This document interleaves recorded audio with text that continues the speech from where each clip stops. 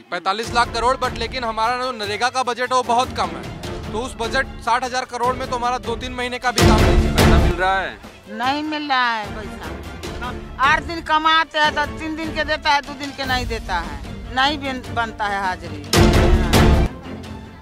हमारे लिए क्या कर रहे हैं मोदी? कुछ नहीं कर रहे हैं। वो आप लोगों की मैं उनका भाई हूँ। आप सब उनकी बहनें हैं। हाँ कुछ नहीं है। भाई या बहन नहीं है वो दुश्मन है हमारा देश का देश मज़बूत कर दिया है। मज़बूत करता? तो ही हम चप्पल बिना चप्पल को पहन के आते बिना चप्पल पैर को। खोल। बैठने के पानी पीने का कल नहीं है। बच्चा सबके ले जाते हैं काम कराने तो बैठा के माटी काटते हैं हम लोग। तो मजदूरी हम मोदी सरकार हम लोग के देते हैं। वोट लेने के बेर अल्लाह ने हाजिरी बना दिया पैसा भी नहीं मिल रहा है। अनाज तो दे रहे हैं ना मोदी जी। मिल रहा है चार किलो अनाज मिल रहा है पाँच किलो अनाज देने से दस किलो अनाज देने से पाँच किलो मिला पाँच किलो से चार किलो मिलता है वो भी डीलर नहीं दे रहा है। दुनिया की सबसे बड़ी रोज़गार गारंटी योजना है मनरेगा जिसके तहत लोगों को काम मिलता है हर हाथ को काम देने की गारंटी है इसमें। लेकिन मनरेगा जो योजना है वो आज धूल फांक रही है। क्योंकि ये वो महिलाएँ हैं जो बिहार से आई हुई हैं। आप देख सकते हैं, भारी संख्या में महिलाएँ आई हुई हैं। इन्हें चाहिए हर हाथ को काम दो, काम का पूरा दाम दो। इसकी मांग को लेकर यहाँ पर ये लोग इकट्ठा हुए हैं, जंतर मंतर पर आए हुए हैं और यहाँ पर गीत भी गाया जा रहा है। हर मजदूर को मिले गौरव से जीने का हक। नरेगा संघर्ष मोर्चा ने ये ऐलान किया है। सही समय पर पूरा काम, सही समय पर पूरा दाम देरी बंद करो, चोरी बंद करो। भाई साहब, क्या नाम है आपका? और बताइए, कहाँ से आए हैं और क्या है मांग? तो मेरा नाम उत्कर्ष है और हम लोग नरेगा संघर्ष मोर्चा के बैनर तले आज अपनी कुछ मांगों को लेके इकट्ठा हुए हैं। अगर हम अपनी मांगों की बात करें तो सबसे पहले इस बार जो सरकार ने नरेगा के लिए बजट निकाला है, वो सिर्फ़ साठ हज़ार करोड़ निकाला है। तो अगर नरेगा, जिस तरह से नरेगा योजना को पूरे देश में अगर अच्छे तरीके से हमें लागू करना है और नरेगा कानून के हिसाब से अगर हमें सब, हर हाथ को काम देना है तो उसके लिए दो लाख तिहत्तर हज़ार करोड़ रुपए की ज़रूरत है, जो कि अलग अलग विशेषज्ञों ने जो अनुमान लगाया है कि आज के टाइम पे अगर हम आ, सब हर हाथ को काम दे कानून के हिसाब से न्यूनतम मजदूरी दे तो हमें दो लाख तिहत्तर हज़ार करोड़ की ज़रूरत है। लेकिन सरकार ने इस बजट सत्र के दौरान सिर्फ़ साठ हज़ार करोड़ रुपए का ऐलान किया है जो कि साल भर नहीं दो तीन महीने में ये पैसा ख़त्म हो जाएगा।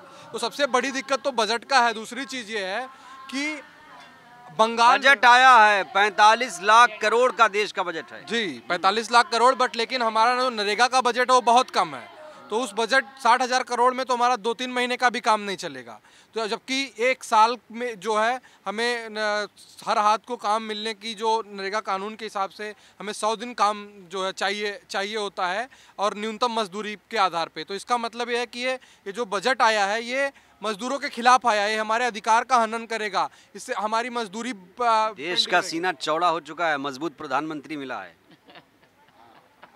अब आप यहाँ पे जितने लोग आए हैं थोड़ा इनका भी सीना देख लीजिए। बहुत सारे बच्चे आज ट्रेन में किस तरह से आए उनके पैर में चप्पल नहीं है। ठंडी के इस मौके पे मौके में मैंने छोटा सा बच्चा अपनी माँ के साथ आया था जिसके पैर में चप्पल नहीं है और एक बहन थी जो बेहोश हो गई उतनी दूर से। तो अगर देश का सीढ़ा चौ, सीना चौड़ा हो गया है और ये लोग देश नहीं है ये जो माताएँ बहनें आई हैं इनको अगर ये लोग इनको देश नहीं माना जाता तो फिर मैं इस पर क्या ही बोलूँ? अगर इनको आप तो चलिए कुछ लोगों से बात कर लेते हैं। चाची मोदी जी तो कहते हैं आप लोग उनकी बहनें हैं। बताइए। पैसा मोदी जी पैसा नहीं लगाते हैं हम लोग काम करते हैं तो हाजिरी बनाते हैं तो हाजिरी में किस किसको छूट जाता है किसी को बन जाता है पैसा नहीं देते हैं। यही तो है यार। चाची पैसा मिल रहा है? नहीं मिल रहा है पैसा। कितना मिलता है?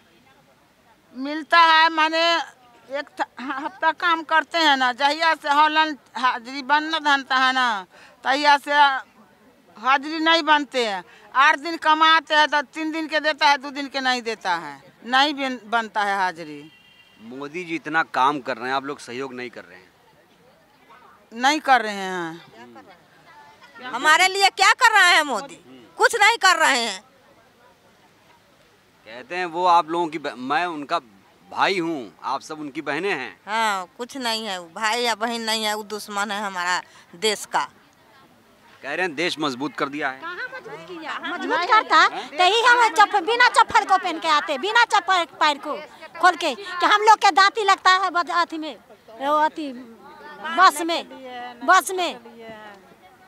नहीं है पानी बैठने के। पानी पीने का कल नहीं है।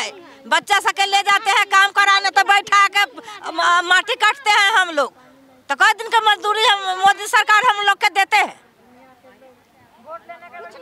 वोट लेने के बेर जाते हैं वोट लेने पर हमको दीजिए हम सरकार बनेंगे। सरकार बन जाते हैं तो लोग तो तुम कौन ना हम कौन? हम भी से भैया वोट देते तो उस बड़ा लोग कल आते हैं, कुर्सी पर बैठते हैं। और हम सबसे तो बोरा चट्टी नहीं मिलते हैं बैठने के लिए खाने के लिए अन्न नहीं मिलते पीने के लिए पानी नहीं मिलता है। हैं? अस्सी करोड़ लोगों को अनाज दे रहे हैं मोदी जी। नहीं देता है। नहीं देता है फ्री में नहीं देता है पैसा देते हैं हमसे तो देता है ना तब नहीं देता है। अनाज मिल रहा है कि नहीं अनाज? पाँच किलो। पाँच हाँ पाँच किलो ऐसे ऐसे अस्सी करोड़ लोग हैं देश में। है तो सब जिसको परिवार है दस गो वो पाँच किलो में पेट चला लेगा बाल बच्चा के। कितना उसना चार आ, के मौगी खाता है अरबा चार क्या खाता है मोदी? हाँ? उसना चार खाते हैं सर। हम लोग के अरबा चार खिला को बीमारी उखाड़ दिया दमा कर दिया टीबी बढ़ा दिया। कति कहता है हाथ दे, दे हाथ फूल गया। भोजन की क्वालिटी अच्छी नहीं है क्या आप कह रही नहीं। अच्छा होता तो यही यही होता सर। तो नरेगा में आपको कितना पैसा दे रहे हैं? कहाँ मिल रहा है पैसा? पैसा तो तीन साल चार साल कमाया हुआ है अखनी तक पैसा नहीं मिला है। तीन साल आपने काम किया पैसे ही नहीं दिया। नहीं मिला। भुगतान नहीं हो रहा है? नहीं हो रहा है। होता तो ही होता। ऑनलाइन हाजिरी हुआ है इससे ऑनलाइन हाजिरी हुआ है तो वो में पहले था जो मास्टर पर हाजिर बनता था तो लोग टाइम से जैसे आठ बजे निकलते थे तो हाजिर बनता था सही से। अब ऑनलाइन जैसे हाजिर हुआ है जैसे ढंग से नहीं पैसा मिल रहा है जैसे सात दिन का काम है तो चार दिन का हाजिर बन रहा है इस पर दिखा रहा है।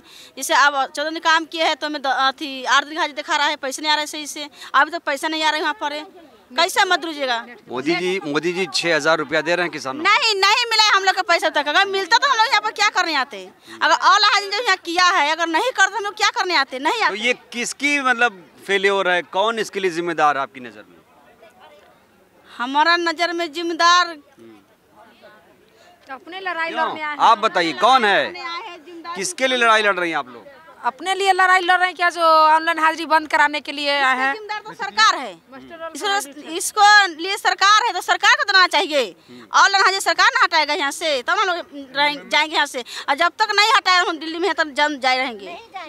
संसद का संसद का घेराव कर लेंगे हाँ यहाँ पर घेराव कर लेंगे। जब तक ऑनलाइन हाजिर नहीं हटाएगा तब हम यहाँ पर निश्चित काल धना पर हम लोग रहेंगे तो नीतीश कुमार से मिले कि नहीं?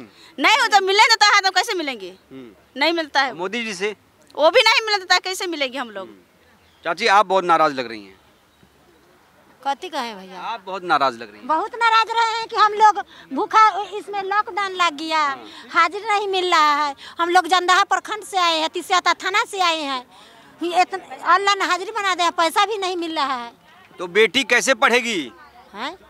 खुरपी का बंद भी करता है वो भी मालिक माँ तो कहता है कि आज कम बात है बिहान भी नहीं देता है। आज बिहान करते हैं। एक नरेगा में कमाए उसमें पैसा नहीं मिल रहा है तो हम लोग खाएँगे कथी? हम लोग तो भूखे मरेंगे। तो अनाज तो दे रहे हैं ना मोदी जी मिल रहा है चार किलो अनाज मिल रहा है पाँच किलो अनाज देने से दस किलो अनाज देने से पाँच किलो मिला पाँच किलो से चार किलो मिलता है वो भी डीलर नहीं दे रहा है। पूरा देश बहुत बड़ा है अस्सी करोड़ लोगों को अनाज मिला। एक ए, एक महीना देता है एक महीना बंद करते हैं। घपला बहुत हो रहा है घपला हो रहा है। घपला हो रहा है जो सबके पाँच किलो चार किलो देना का काट लेता है ना और ऊपर से पैसा लेता है ना। कितना बहुत एक किलो गेहूँ से कई दिन खाएगा लोग? जिसका घर में पाँच आदमी है दस आदमी है एक किलो गेहूँ से चलेगा पेट नहीं चल सकता। है कितना जितना आदमी है उतना को जोड़ कर देना चाहिए तब न जिएगा। बताइए आप। मिल रहा नहीं मिलता है।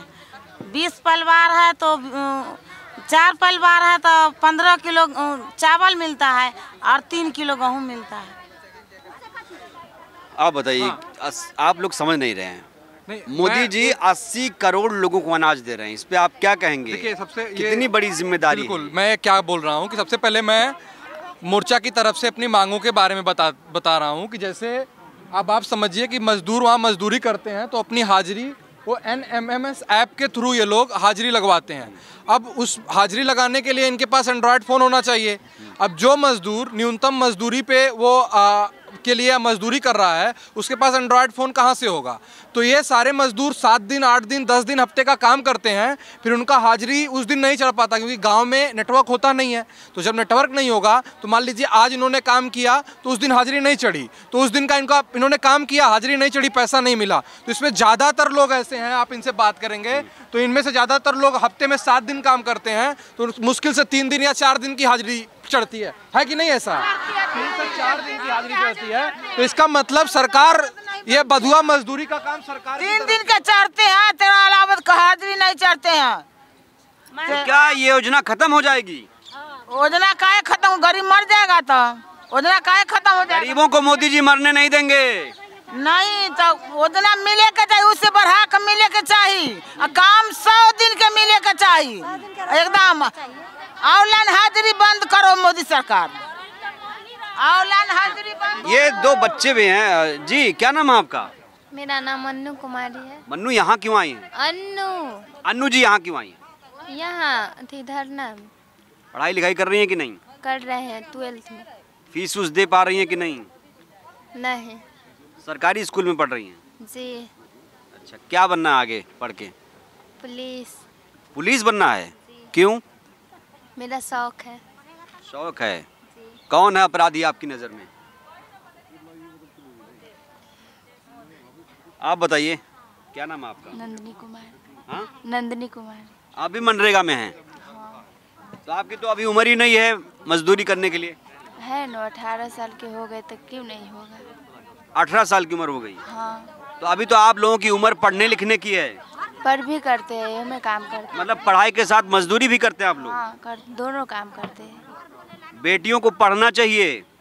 काम ना करना चाहिए बेटियों की। काम घर का करिए।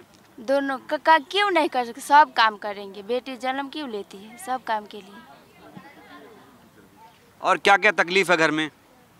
मेरे घर में कुछ नहीं तकलीफ़। तो देखा सुना आपने बहुत होनहार बेटियाँ हैं और पढ़ना चाहती हैं काम भी करना चाहती हैं।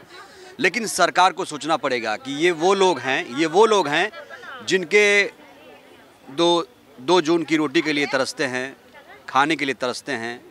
ये पढ़ना चाहती हैं बेटियाँ, ये पढ़ाना चाहती हैं माताएँ अपने बच्चों को, लेकिन इनके पास ना तो खाने के लिए है और ना तो फ़ीस देने के लिए पैसा है, क्योंकि समय पर इनको पैसा नहीं मिल रहा है, ना तो हाथों को काम मिल रहा है और इसीलिए बिहार से ये लोग संसद के सामने बैठे हैं धरने पर। और जब तक इनकी मांगें पूरी नहीं होंगी, तब तक ये लोग धरने पर बैठे रहेंगे। अब सरकार को सोचना पड़ेगा इनके बारे में, कैसे इनकी समस्या का हल होगा। आपकी राय क्या है हमारी इस खबर पर? अपनी राय दीजिएगा ज़रूर। शुक्रिया। नेशनल दस्तक की आपसे गुजारिश है कि अगर इसको बचाना चाहते हैं तो नेशनल दस्तक को सब्सक्राइब करने के लिए रेड कलर के सब्सक्राइब बटन को दबाएँ, फिर बेल आइकन की घंटी दबाएँ। नेशनल दस्तक को बचाने के लिए बहुत ज़रूरी है कि हर खबर को शेयर करें, लाइक करें, कमेंट ज़रूर करें।